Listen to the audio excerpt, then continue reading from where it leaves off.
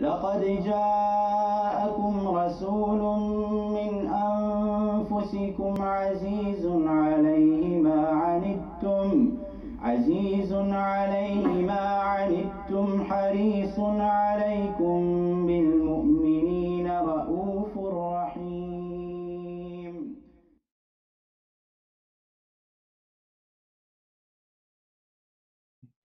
الحمد لله رب العالمين. والعاقبة للمتقين ولا عدوان إلا على الظالمين وأشهد أن لا إله إلا الله وحده لا شريك له وأشهد أن محمدا عبده ورسوله Can you guys see what's on the board? Uh, what's on the screen? Yes. Alhamdulillah. Um, Alhamdulillah ta'ala, we send out a homework. Um, inshallah ta'ala, I hope you guys have completed the homework or worked on it. Today, to save time, we're gonna go straight to our subject. So last class, we talked about the bio, we talked about the life of the author. Um, and, and we talked about um, what the author he went through. And it's always good to go to look at the author of the book. So because that will help you get attached to the book. That will help you get close to the book.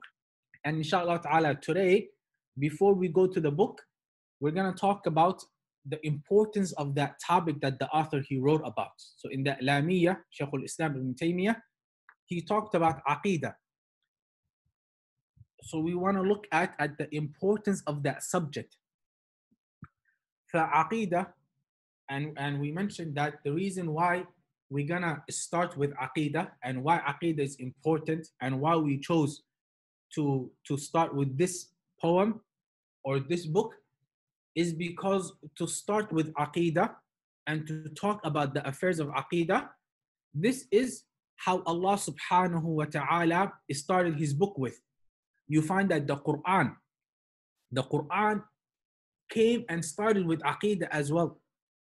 Allah subhanahu wa ta'ala tells us uh, the first revelation, the first revelation in the Quran. اقرأ باسم ربك الذي خلق. Read in the name of your Lord who created you. Iqra, that doesn't only mean you only read in the name of your Lord. No, which means everything you do in this life should be by the name of your Lord who created you. Worship should be for Allah, the one who created you. Dua should only be for Allah, the one who created you. Reliance, complete reliance should be towards Allah subhanahu wa ta'ala, the one who created you. فعقيدة is how Allah He start, the first revelation is about عقيدة.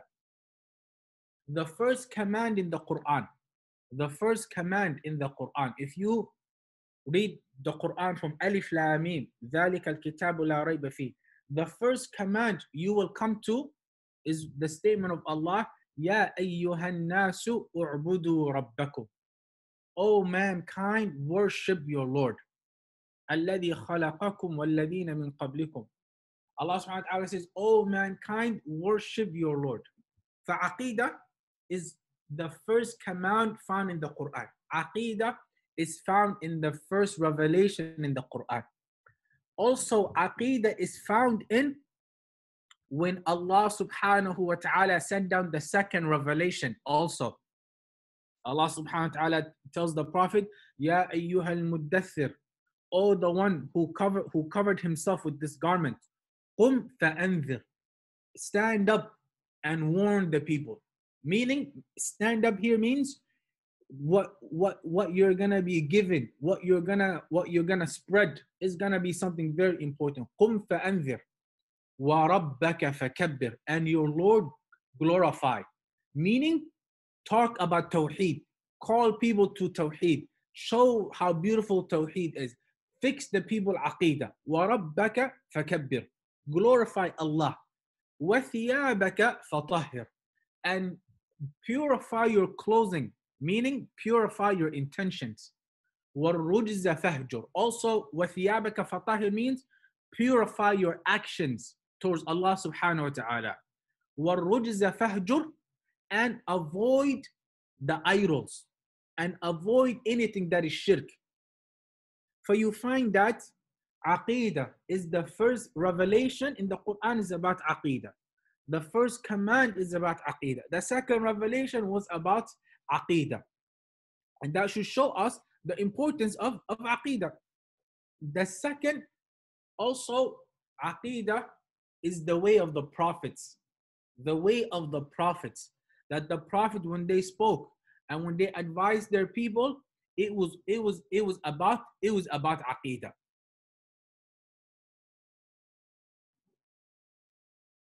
It, it was it was about it was about Aqidah.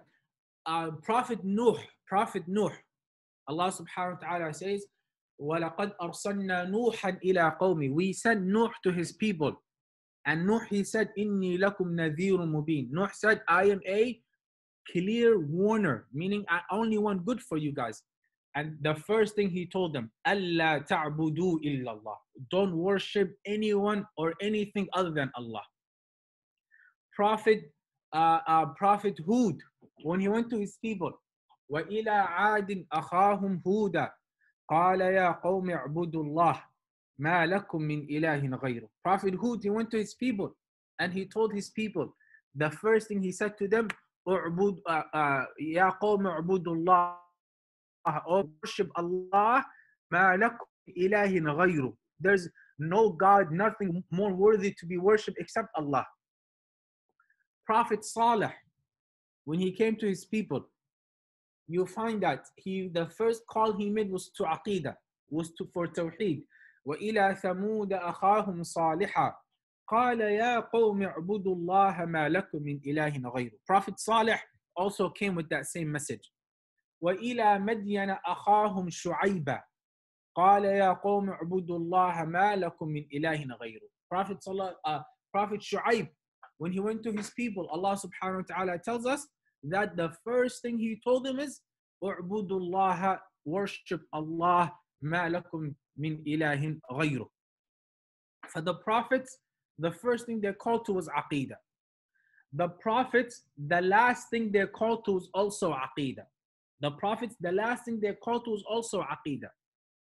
Prophet Yaqub alayhi salam, Prophet Yaqub, he said, أم كنتم شهداء إذ حضر يعقوب الموت when Prophet Yaqub was on his deathbed. And surrounding Prophet Yaqub was his children, his sons. إذ قال لبنيه ما تعبدون من بعدي. Prophet Yaqub is on his deathbed. Around him is his sons. The, he, he's, he, he's telling his son, ما تعبدون من بعدي. What will you worship after I die? What are you going to worship and, uh, until you leave this world. What, what, what, what are you going to worship? ما تعبدون من بعدي. They said, نعبد إلهك. We're going to worship your Lord, meaning Allah. وإله آبائك إبراهيم وإسماعيل وإسحاق. We're going to worship the same Lord Ibrahim used to worship, and Ismail used to worship, and Ishaq used to worship. إلها واحدا. One God. One ilah. ونحن له مسلمون and we're going to submit to whatever Allah subhanahu wa ta'ala tells us. For even Prophet Yaqub, when he's on his deathbed, he's calling to this aqidah and he's making sure the aqidah is sound and the aqidah is good before he leaves this world. And by the way, this children of Prophet Yaqub that he was talking to, they were prophets. They were prophets. For Prophet Yaqub is addressing other prophets, making and telling them ما تعبدون من بعدي make, making sure that they worship Allah subhanahu wa ta'ala also the prophets when they were imprisoned when they were in prison or when they were in a situation that's not very comfortable they would still call to tawheed and they would call to aqidah prophet yusuf alayhi salam when he was in prison what did what was the and, and the two men they came to him what was the first thing he told them what was the first thing he called them to? Two men came to Prophet Yusuf when he was in jail. And they said to, Oh, Prophet Yusuf, we had a dream. They didn't call him Prophet, but they said, We had a dream and you seem like a good person. Prophet Yusuf said to them, I will explain this dream to you. But before that, let me tell you something. And he started to call them to Tawheed. Ya صاحبي السجن أأرباب متفرقون خير أم الله الواحد القهار He said, "Oh people, what is this? What is this multiple guys that you you guys are worshiping? ما you're finding the jinn, you're finding the jinn are even calling to La ilaha illallah and to, and to Aqidah. And also, the scholars also they paid attention to this book, to this topic, and to this subject. This is why we are learning this Lamiyya. This is why we're learning this poem. This poem is about Aqidah. And, and many scholars before and after and continue to write on this topic. As a matter of fact, the great Imam, Imam Abu Hanifa, a book that has been attributed to him as well. It's called Al Fiqh Al Akbar, the greatest fiqh or the biggest fiqh. And this is a book that is about Aqidah. For Imam Abu Hanifa, a book, a, a letter or a treaty that's attributed to him is called Al Fiqh Al Akbar, the greatest fiqh. And this is a matter or the subject is, is about is about Aqidah. Aqidah is the foundation and the base of our faith. And if a person has any type of deficiency in his aqidah, if a person has any defect in his aqidah, then this will lead to him being deficiency as a Muslim. So if your aqidah is not sound and is not good, then you cannot be a good Muslim. Then there's going to be some deficiency as you as a Muslim because your aqidah, the base, the foundation, is there's some weakness in there. But the strongest that the stronger that foundation is, the stronger Muslim you're going to be. And and the stronger your aqidah and, and the stronger your aqidah will be. Any question about this slide?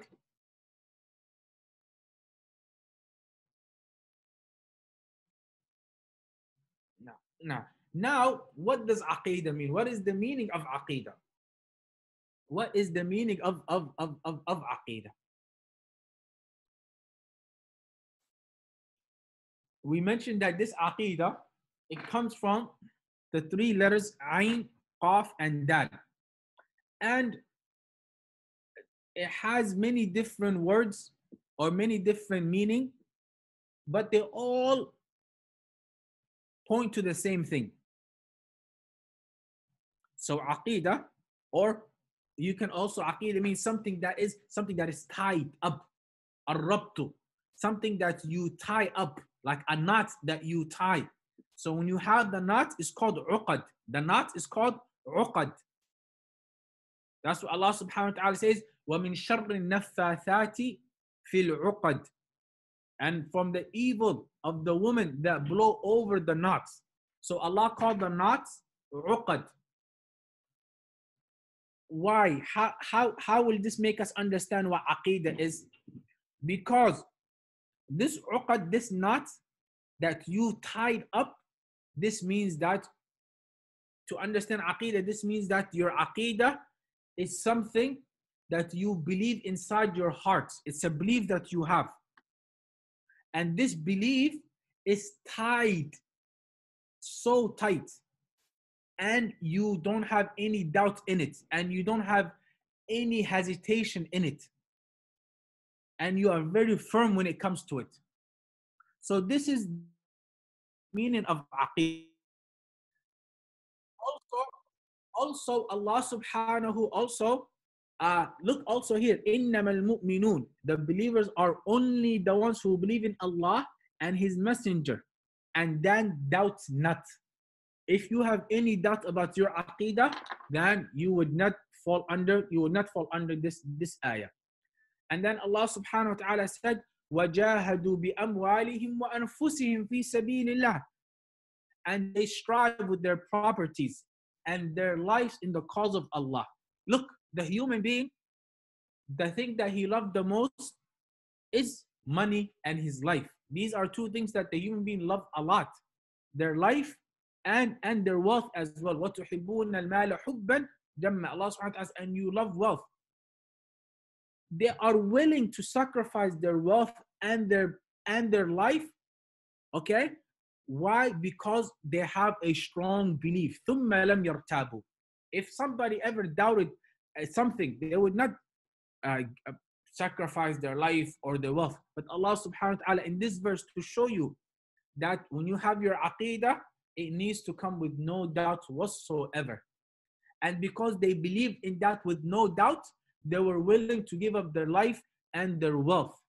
إنما المؤمنون الذين آمنوا بالله ورسوله ثم ثم لم يرتابوا. We apologize for the recording being cut. The rain is missed. لا but no problem.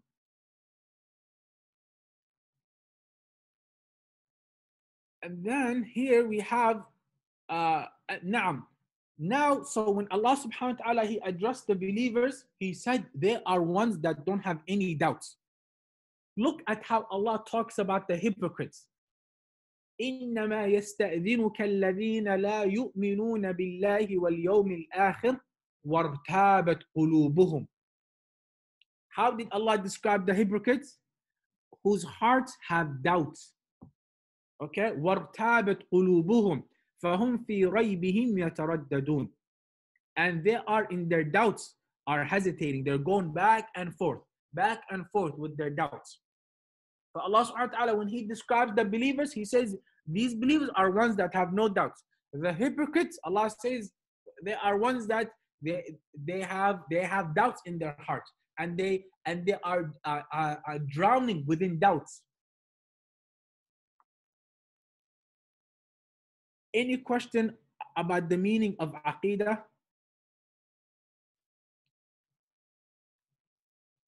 Alhamdulillah. Now, what does aqidah?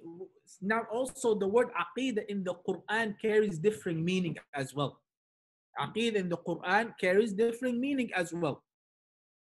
In the Quran, aqidah means also a contract, a promise. Okay? Allah subhanahu wa ta'ala tells us, Ya ayyuha alladhina amanu awfu bil uqood. O you who believe, fulfill all your contracts, fulfill all your promises. Awfu bil. When someone gets married, aqd an nikah, they call it aqd an nikah, the contract of nikah, of the wedding, of the marriage. So aqidah also means a contract. The root word of it goes back to a contract and a promise. Have we taken a promise with Allah? Yes, we have. We have promised Allah subhanahu wa ta'ala that we will worship Him and that we will take Him as a Lord. Allah subhanahu wa ta'ala tells us, وَإِذْ أَخَذَ رَبُّكَ مِنْ بَنِي آدَمَ مِنْ ظُهُورِهِمْ ذُرِّيَّتَهُمْ وَأَشْهَدَهُمْ عَلَىٰ أَنفُسِهِمْ أَلَسْتُ بِرَبِّكُمْ Allah subhanahu wa ta'ala took all of us out of Adam alayhi salam. and then Allah subhanahu wa ta'ala told us, Alastu bi rabbikum, am I not your Lord?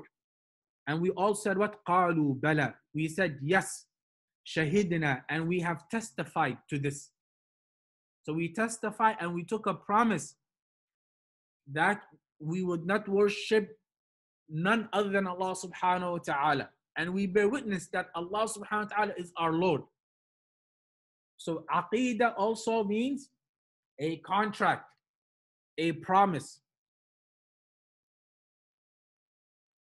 Al- Also, aqidah means something that you do uh, on purpose. You intend to do it. What shows you that aqidah doesn't mean you do something. uh, It's like a uh, something you do by accident or something you believe in by accident. No, something that is that is done on purpose. Allah subhanahu wa ta'ala says, لا يؤاخذكم الله باللغو في أيمانكم. Allah will not punish you for what is what is unintentional in your oath. So, so if you took an oath uh, unintentionally or you did not mean it, Allah will not take that into account. ولكن يؤاخذكم بما عقدتم الأيمان. Look, look at this. The word also you find aqidah also close to that word. عقدتم الأيمان goes back to the root word of aqidah. عقدتم الأيمان. Allah says, but Allah will punish you for what for your deliberate oath, for what you said on purpose, for what you intended to do. فعقيدة means something that is done on purpose. Aqidah means a promise that we have taken with Allah subhanahu wa ta'ala. Technically, technically now, aqidah, all of that was linguistic meanings. Now, technically, aqidah means what? When we say aqidah in Islam, aqidah is the matter of religion that the Muslim must believe in, in his heart, and have a and have faith and conviction in it with no doubt. that which you believe in your heart with no doubt. And the reason why you don't have any doubt about your aqidah or your belief, because this came from Allah and His book and His Messenger sallallahu alaihi wasallam. This is from Allah, from the Quran, and from the Sunnah of the Prophet sallallahu alaihi wasallam. So aqidah, aqidah technically means that which the Muslim believes in in his heart, and he has conviction in it, and he does not have any doubt.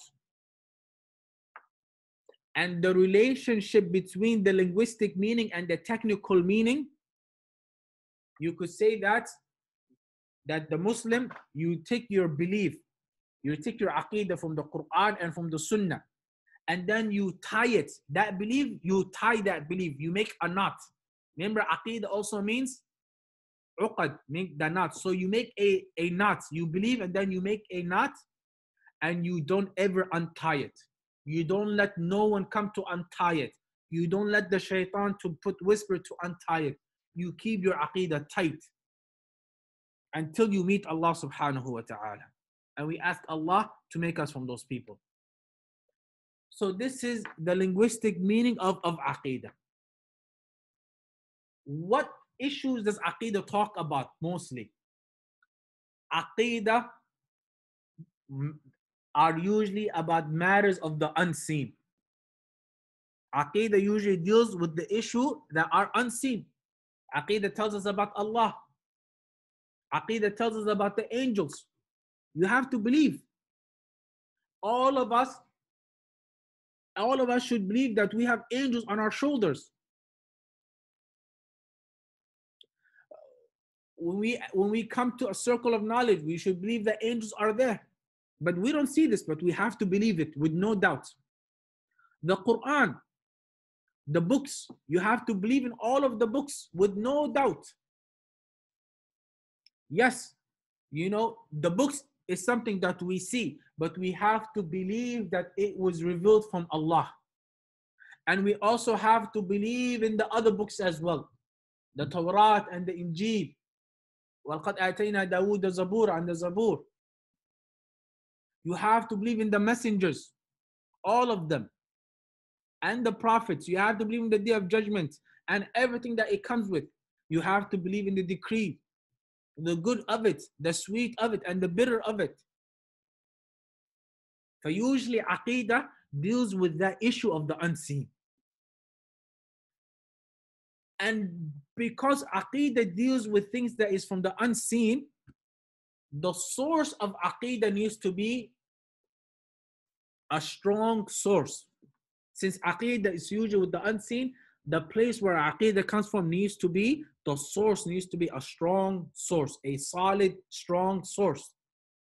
And the sources of aqidah are these five in front of us the Quran, and the Sunnah, and the Ijma', and the sound intellect and the fitrah as well. So these are the sources of, of aqidah. And each one is very deep. Each one will maybe take 10 classes. But we will just mention the, this, our aqidah comes from these five, the Quran, the Sunnah, and Ijma. These, the first three are called the, are called the main source. Yes, you yes, you could put it yes in this order. So you can the Quran and the Sunnah and the Ijma' these three are, are called the primary sources of Aqidah. The second, and then you have secondary sources, and that is the sound intellect and, and the fitra. These two are the secondary sources. Sound intellect and fitra cannot work by themselves. The sound intellect and the fitra, they need to match the Quran, Sunnah, and Ijma. So that your intellect and your fitra are used as a secondary source.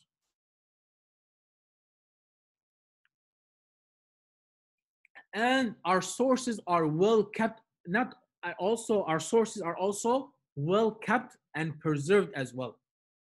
And this what makes our aqidah very unique Our aqidah, we don't use our, you know, rational, over, we, we don't go straight to our intellect and try to use our intellect over the text.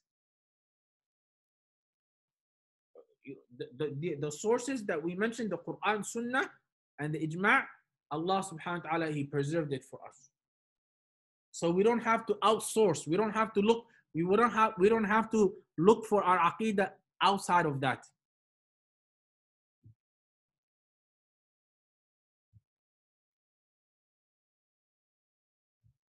Isn't the isn't the only of ijma' from the past, or we can use the ijma' from the contemporary scholars. This also, I mean, this also the, the scholars they differ in that. But the ijma' that we're referring to is the ijma' of the salaf. When it comes to aqidah, the ijma' is referring to the ijma' of, of the salaf, meaning the companions. And, and, and the companions from the first and foremost, the four khulafa rashidin. And then the and then the generation that came after the companions and the generation that came after the the first three generation, just like how this class is is, is under the three generation. So when we say ijma' and aqidah, we're referring to the ijma' of the first three three generations. And now, and and yes, and some of the reason why we cannot use our intellect for aqidah by itself, or we cannot use logic for aqidah, is because our logic is different for everyone. Your logic will differ because of your age, because of your society, because of your experience. So you cannot try to use your logic and try to find out and, and, and about aqidah. Also, we mentioned aqidah is referring to the unseen. And if you try to use your logic, it doesn't it doesn't work all the time. You know, we make wudu. Allah subhanahu wa ta'ala tells us that when we are praying, we should make wudu. And we use water to make wudu. That makes sense. Water cleans you. So we're making, we're using water to wash our hands and our face and our arm. But if we don't have water, Islam tells us to, to use the earth, use the dirt, do tayammum, use the dirt. How is the dirt going to clean you? You are rubbing yourself with the sand and with the dirt.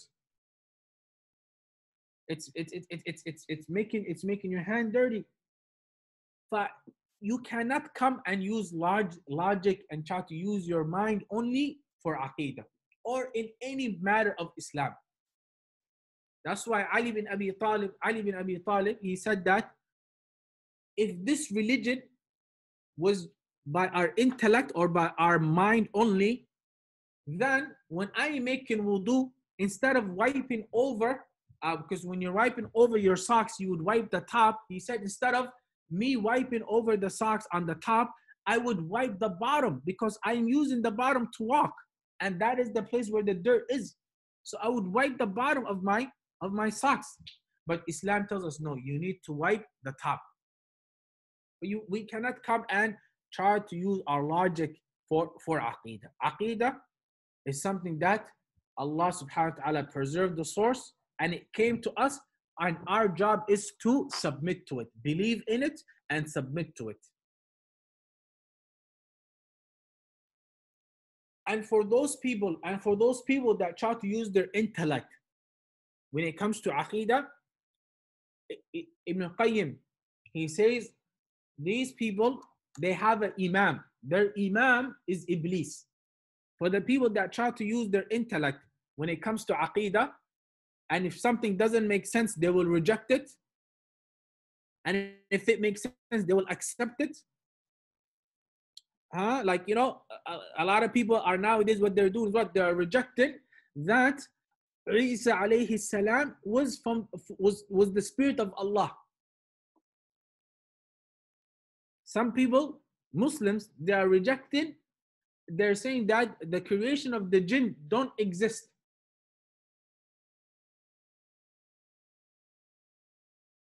And, and many other.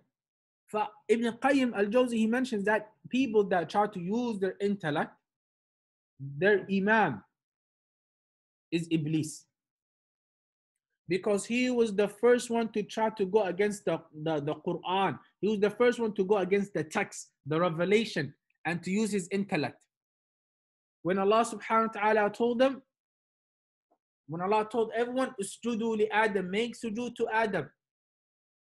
So they all made sujood except for Iblis. And look, that was a revelation. He had to submit to it. He refused. He said, Ana khayru minhu. I am better than this. I am better than Adam, this creation. خلقتني من نار. I am made out of fire. Smokeless fire.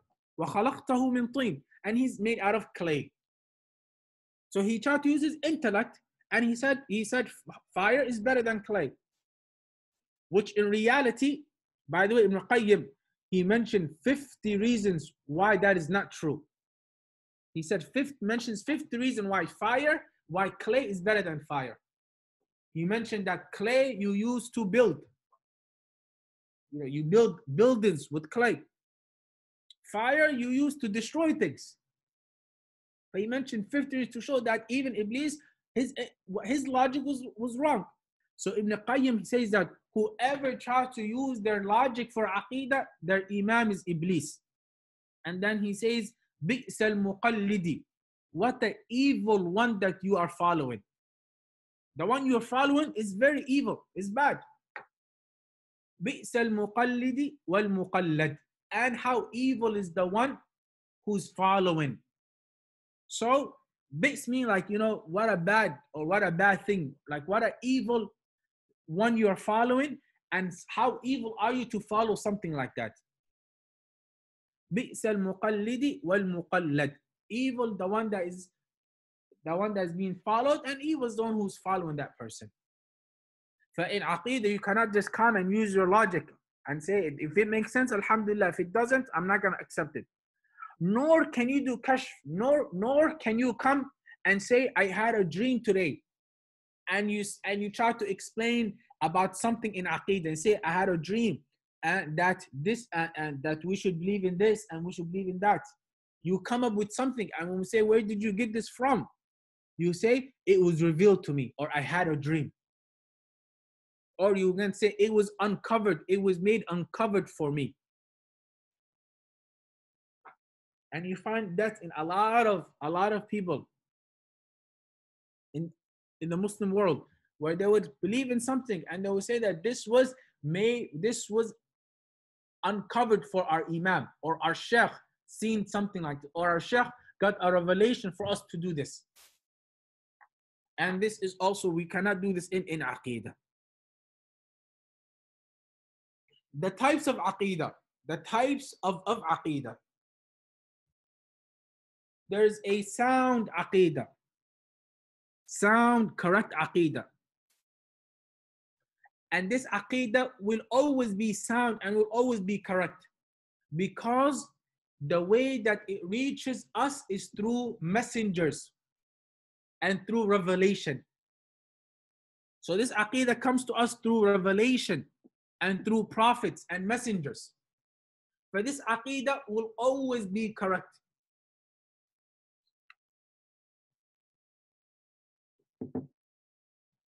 The second type of aqidah is a false aqidah and will always be false. And and there would always be many different of these type of aqidah. And is enough to know that this is a product of a human intellect. This second aqidah is a man-made aqidah. So the first aqidah was through messengers and prophets and revelation. Second aqidah is through man-made aqidah, and this will always be a this will always be a, a, a false aqidah. The third type of aqidah, the third type of aqidah is a aqidah that is sound in the beginning. In the beginning, it, it was sound and it was pure. But through time, it became corrupted. And, and it changed.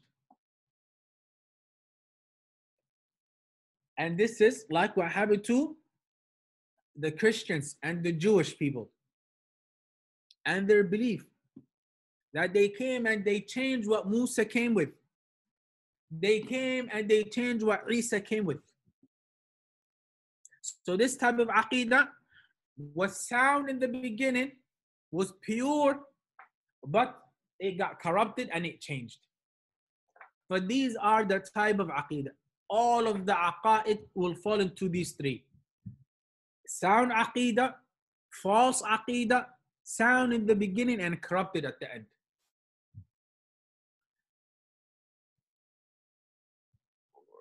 Now, and now, now, question now, where can we find this aqidah? Where can we find the sound and true aqidah? This sound aqidah can only be found in Islam. Because Islam is a religion that is protected, and Allah guaranteed this for us. Allah tells us, Inna nahnu nazzalna dhikra wa inna lahu lahafidun. Indeed, it is we who sent down the Quran, and indeed, we will be its guardian. Allah subhanahu wa ta'ala says, We will be the one who will guard this Quran. We will protect this Quran from ever changing. And Islam is that is the aqidah, is a aqidah that is pure, that is clear, that convinces our mind and convinces our heart. It comes with evidence, it comes with proof It has a sweetness that you can taste. You know, it has um you know, it has that which matches the intellect and, and the heart. And that's why Allah subhanahu wa ta'ala, He called it Ruh. Ruh is the, the, the spirit. وَكَذَلِكَ أَوْحَيْنَا إِلَيْكَ رُوحًا مِنْ أَمْرِنَا Allah called it light ولكن جعلناه نورا نهدي به من نشاء من عبادنا For the sound aqidah and the correct aqidah will be found in, in Islam. Aqidah, you should know that aqidah also has different names, has different different names, and the scholars use different uh, uh, different names to to to to talk about aqidah. The first they call it aqidah, and we know what it means. And and and the scholars they wrote books called it aqidah. Al-Imam al-Sabuni has a book called Aqidah to Salaf عقيدة السلف عقيدة أصحاب something like that he has a book called نعم عقيدة السلف وأصحاب الحديث there you go he has a book called عقيدة السلف the عقيدة of the Salaf and the people of Hadith عقيدة السلف وأصحاب الحديث the عقيدة of the Salaf and the and the people and the scholars of Hadith Imam al-Bayhaqi he has a book called Al-I'tiqad Imam al-Bayhaqi, he has a book called Al-I'tiqad, meaning Aqidah. Imam al-Lalaka'i, he has a book called Sharh Usul I'tiqad Ahlul Sunnah wal Jama'ah. Sharh Ahlul Sunnah wal Jama'ah. You see, Ahlul Sunnah wal Jama'ah, the creed of the people of the Sunnah. Sheikh bin Baz has a book also called Al-Aqidah al-Sahiha. He has a book called Al Aqidah Al Sahiha, the correct and the sound Aqidah. But they, they wrote books called it Aqidah. They also wrote, called it Tawheed as well. They also called it Tawheed. Why did they call it Tawheed? Because Tawheed, this is a inshallah, very good point, inshallah. The reason why they called it Tawheed is because the most important part of Aqidah and the best part of Aqidah and the purpose of Aqidah is to single out Allah. And Tawheed means to single out. Tawheed means to single out. So they're called Aqidah Tawheed. They're called Aqidah Tawheed. And there are many books. Kitab al-Tawheed. Imam Bukhari, he has a, a, a chapter in his book under the chapter he says uh, Kitab al-Tawheed, the book of Tawheed. Ibn Khuzaymah has a book called Al-Tawheed, Kitab al-Tawheed. You find that Shaykh Muhammad Abdul Wahab has a book, the famous book, Kitab al-Tawheed. Sheikh Salih Fawzan has a book called Aqidah al-Tawheed, the Aqidah and the Tawheed. Ibn Manda has a book called also Kitab al-Tawheed. For you, for you find that many scholars you find that many scholars called Aqidah also Tawheed. Also, they called this science also the Sunnah. They called it also a Sunnah. Why did they call it Sunnah? Because after the third century, there were many deviated groups and sects that, that, that came about. And they started to reject the Sunnah of the Prophet. They started to reject the Sunnah of the Prophet sallallahu alaihi wasallam, and they would attack the Sunnah of the Prophet.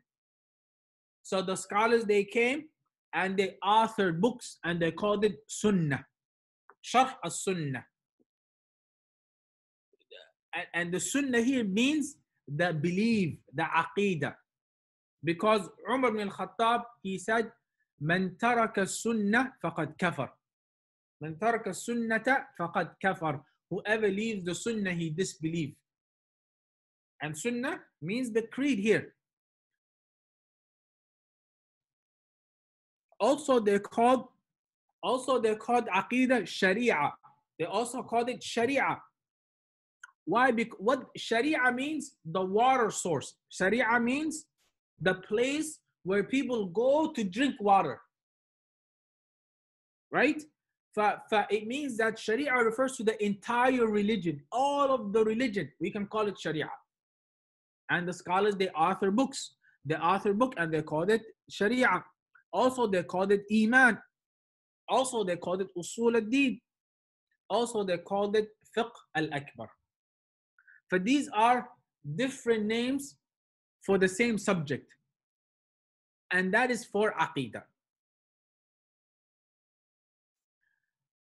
Insha'Allah ta'ala we'll we'll stop here because it's 10:30 now and the next part will talk about the virtue of aqidah and perhaps we will save that for next class and we will try to mention about 30 benefits or 30 points that shows the importance of and the virtue of studying aqidah so our next class will mention about 30 points about the blessings and the virtue of, of Aqidah.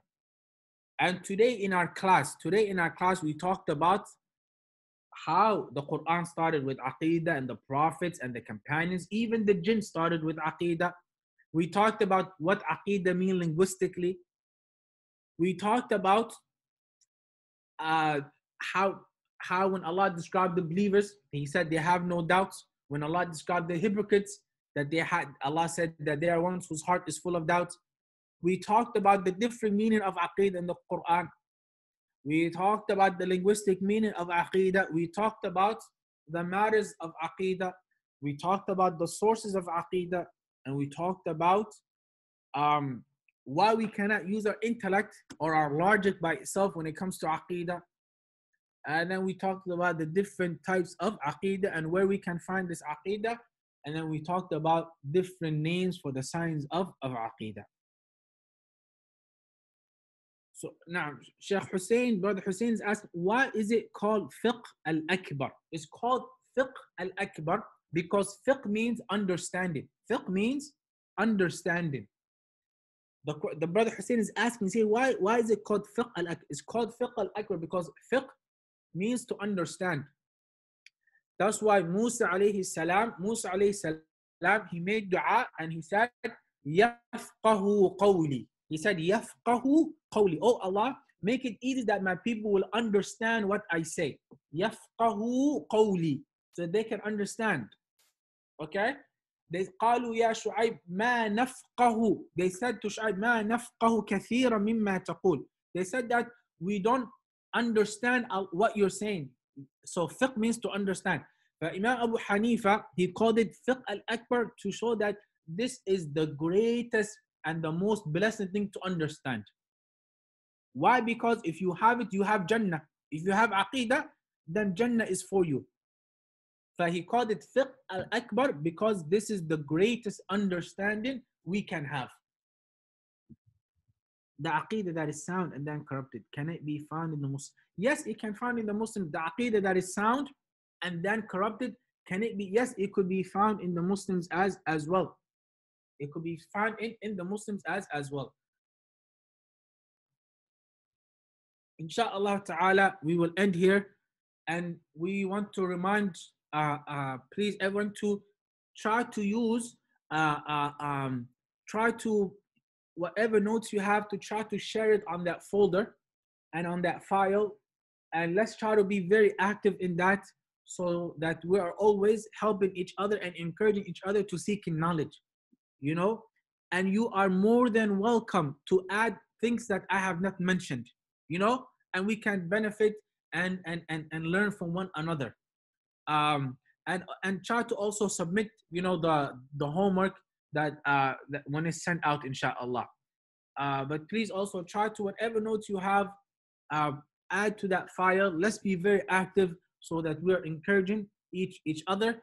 And i'm and i am avoiding of ma- of making the class long. I want to make it inshallah kind of short take small information and then we save it for the next class inshallah. We'll take slow so that we are not talking a lot and people are not getting tired and they're not getting bored and and then we don't want information to just pass us. We want to whatever we mention even if we mention just one hadith and we stick with one hadith and we understand it that is better than 10 ahadith being mentioned.